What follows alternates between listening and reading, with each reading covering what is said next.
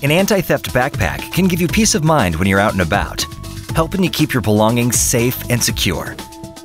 The HOMIEE Anti Theft Backpack is strong and rugged and designed with the modern user in mind. It includes a built in USB port so you can conveniently charge your mobile devices without even opening the bag. It even has a headphone jack.